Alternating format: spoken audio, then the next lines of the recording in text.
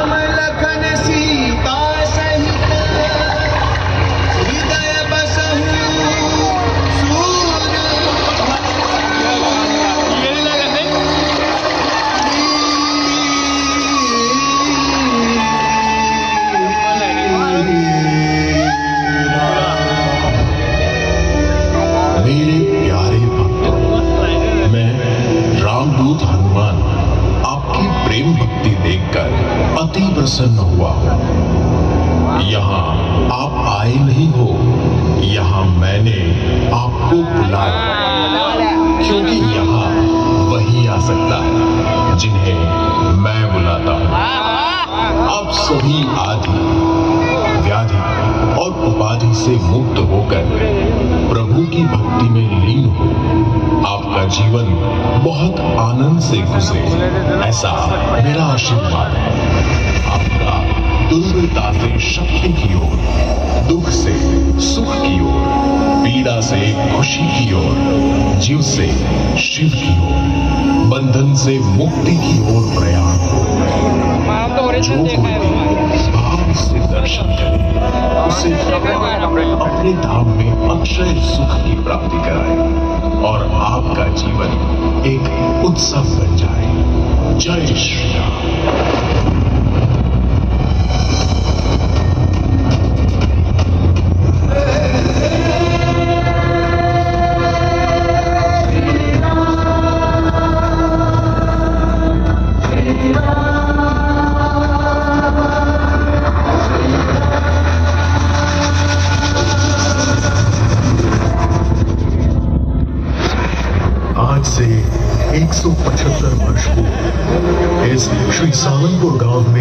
पूर्ण पुरुषोत्तम भगवान श्री स्वामी नारायण के महान संत। योगीराज सदगुरु श्री गोपालानंद स्वामी ने श्री कष्टभंजन हनुमान जी की प्रतिष्ठा की ओर देखा और कहा कि यह हनुमान जी सभी भक्तों के कष्टों को दूर करेंगे। इसलिए योगीराज सदगुरु श्री गोपालानंद स्वामी ने हनुमान जी का नाम रखा। श्री कष्ट भंजन देव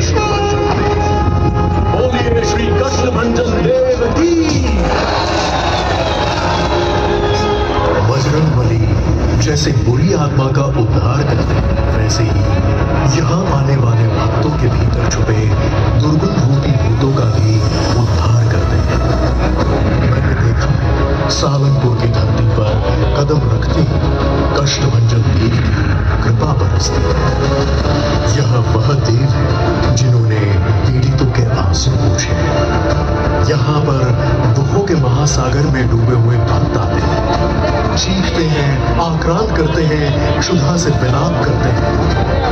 पर जैसे ही कष्टभंजन देव की दिव्य प्रतिमा से नज़र मिलती है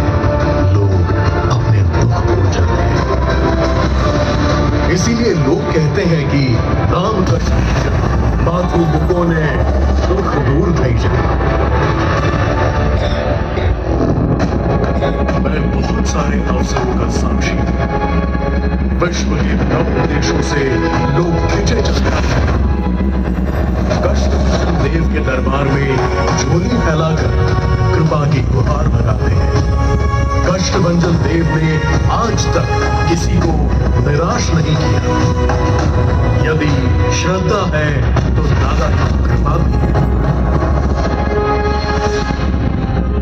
संतों के द्वारा नित्य श्रृंगार, सेवा, सत्संग, भक्ति, भजन, भोजन और यज्ञ जैसी आध्यात्मिक विधि से श्री कष्टभंजन हनुमान जी सदैव प्रसन्न रहते हैं। इसलिए यह मंदिर भारतीय सनातन संस्कृति की इस सुनहरे अवसर पर हम सभी हाथ जोड़कर प्रार्थना करें कि हे कष्टभंजन देव दादा, हमारे सभी कष्ट भी दूर हमारा जीवन सदैव मंगलकारी हो।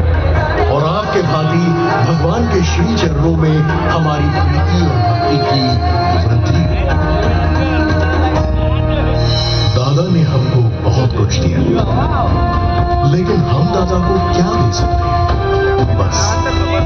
श्रद्धा और भक्ति के दो दीपक जलाकर हृदय का शुभ भाव अर्पण करें। आज पूरा ब्रह्मांड समस्त प्रकृति और पूरी मानव सभ्यता श्री हनुमान जी महाराज को वंदन करता है और जय जयकार करता है। बोलिए श्री कष्टभंजन देव की। श्री सामनपुर धाम शतामृत महोत्सव की।